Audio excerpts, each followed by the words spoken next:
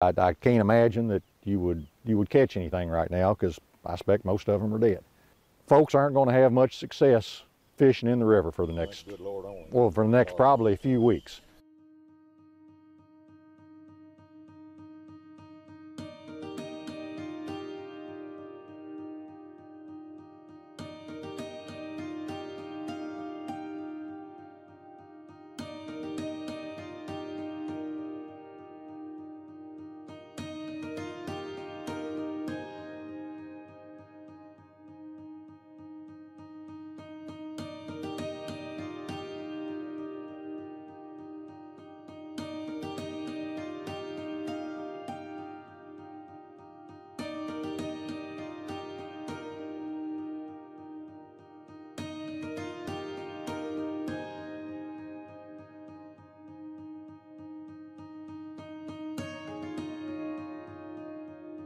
Fish is essentially suffocated.